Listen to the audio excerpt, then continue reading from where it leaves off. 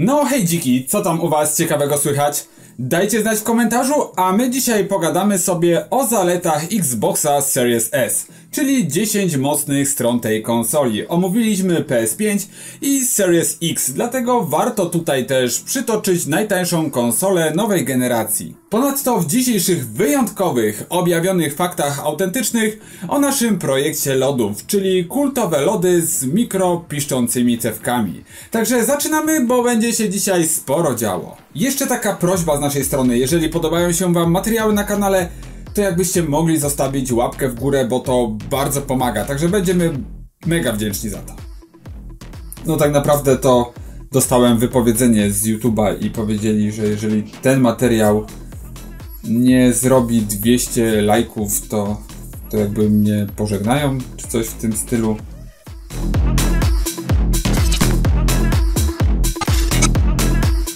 Dzisiaj porozmawiamy sobie o zaletach najciekawszej konsoli, jaka zawitała przy okazji premiery dziewiątej generacji.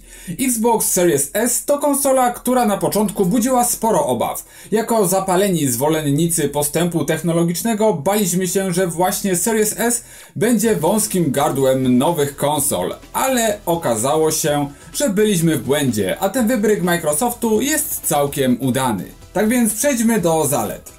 Uno zaleta to wiadomo hajsy, a tutaj wiadomo, że Series S dużo szmalców nie kosztuje, a oferuje zaskakująco wiele. Tak wiele, że ja p***ole.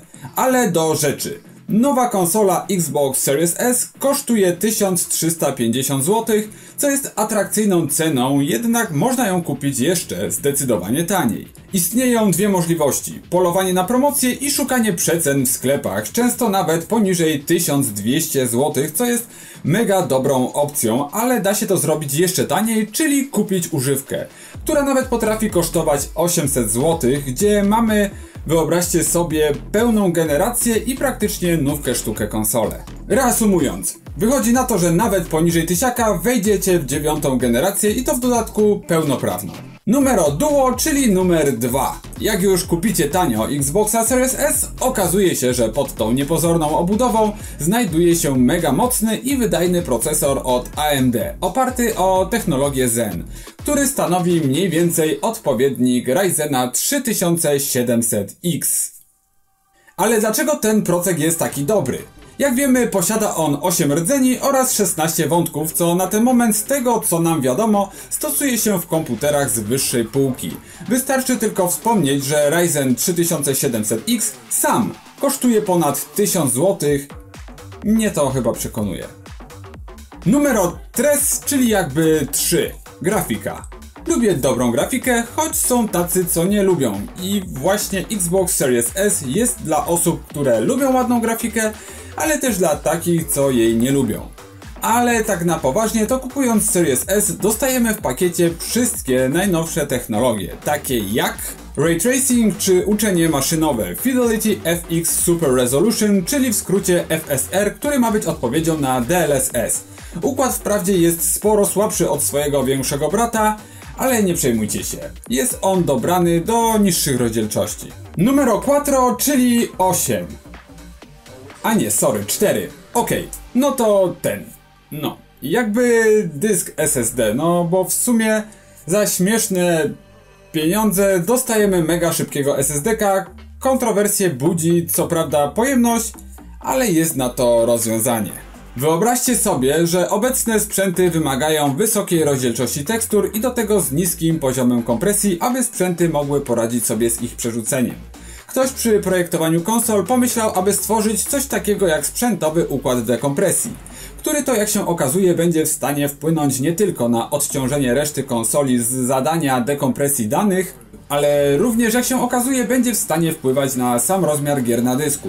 Póki co nie wiemy jak to ma działać, ale zapowiada się, że gry będą sporo lżejsze. Do tego Xbox Series S będzie w inteligentny sposób pobierał tekstury pod niższe rozdzielczości, które będzie wyświetlał co jeszcze bardziej odchudzi gry na dysku. Przynajmniej te na dysku Xboxa Series S. Kolejny numerek to szczęśliwa piątka, czyli ramy. A tutaj jest ciekawie, ponieważ Xboxa Series S wyposażono w 10 GB super szybkich pamięci DDR6. Może Wam się wydawać, że to mało, ale możecie nam zaufać, że wystarczy patch punkt wyżej, czyli z Xboxem Series S celujemy w okolice Full HD, a tam jakichś spektakularnych ilości RAMu nie potrzeba. Punkt szósty, czyli dlaczego Xbox Series S masakruje wszystkie konsole poprzedniej generacji. To dlatego, że ta konsola nie jest jakimś półśrodkiem czy pomostem między generacjami, to po prostu jest nowa generacja, tylko stworzona z myślą o Full HD. Co nie zmienia faktu, że kupując ten sprzęt zaopatrujecie się w najnowsze technologie, które będą z nami przez najbliższe lata. Jakby 7, czyli co? Czyli Game Pass? Może i są na tym świecie przeciwnicy tej usługi, którzy całkowicie ją negują. My jednak jesteśmy po tej drugiej stronie, czyli wychwalamy ją pod niebiosa. Prawda jest taka, że Game Pass to relatywnie tania opcja, która daje nam dostęp do ogromu gier i w dużej mierze świeżych tytułów. Ponadto pojawiają się gry na premierę, a Microsoft mocno inwestuje w usługę, sprawiając, że z miesiąca na miesiąc jest ona coraz bardziej atrakcyjna dla graczy. Jak nie wierzycie, to możecie za na przykład 4 zł to sprawdzić. Jak się Wam nie spodoba, to może Wam zwrócą za to kasę. Nie wiem, nie znam się. Przejdźmy do punktu numer 8. Ja na przykład cały dzień siedzę przed licznikiem prądu i liczę ile go zużyłem. Robię awanturę żonie, że świeci lampkę o 22 i ogólnie wyganiam z domu przedstawicieli firmy energetycznej.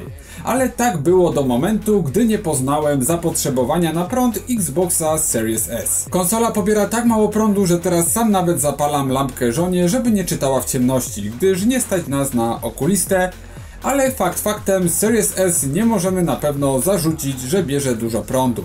Napiszcie w komentarzu ile waszym zdaniem pobiera energii. Oczywiście Xbox Series S, ile pobiera energii. Punkt dziewiąty to takie trochę subiektywne przemyślenie, ale naszym zdaniem Xbox Series S to najładniejsza konsola obecnej generacji. Zachowała klasyczny wygląd oraz stonowaną stylistykę. Nie dodano jej zbędnych feature'ów takich jak na przykład napęd czy ładne podświetlenie. Te ostatnie to oczywiście beka, ale serio, brak szpary dodaje jej uroku. Ale to nie znaczy, że jesteśmy za brakiem napędu, bo mogli go chociażby wsadzić z tyłu. Na koniec pozostawiliśmy sobie gabaryty konsoli. Dzięki niskiemu procesowi technologicznemu, niższemu zapotrzebowaniu energetycznemu, przez co konsola mniej się grzeje, można było pozwolić sobie na mniejsze gabaryty sprzętu. Dlatego mieści się ona w plecaku, a do tego nie waży tyle co na przykład PS5. Kolega przenosił i ma przepuklinę, leży w szpitalu. Inny kolega przenosił Series S-a i nic mu nie ma. Także ten. No także ten no. No, tego.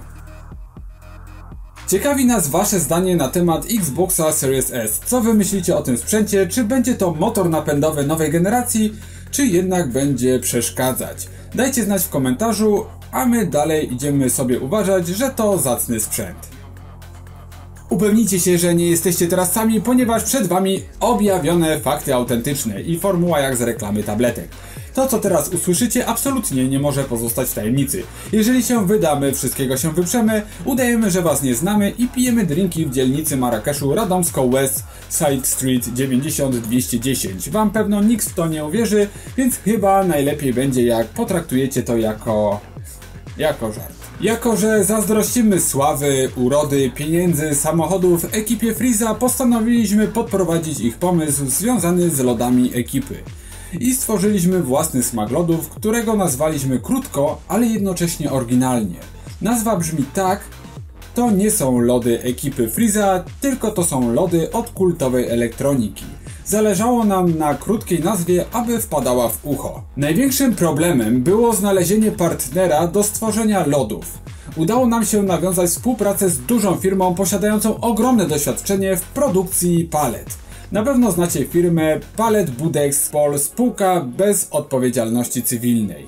Wzięliśmy pod uwagę, że możecie nam nie uwierzyć w to nasze przedsięwzięcie, dlatego przygotowaliśmy prototyp lodów wykonany w pełni z drewna, polipropylenu i innych składników chemicznych i innych takich, których nazwy nie umiem wymyślić, ale tak będzie wyglądał lód w małej odsłonie. Opiszemy więc Wam smak naszych lodów. Sam lód zawiera nutkę śmietanki ze zmielonymi, kruszonymi półprzewodnikami, co daje nam idealną kompozycję śmietanki z akcentem na smak płytki PCB.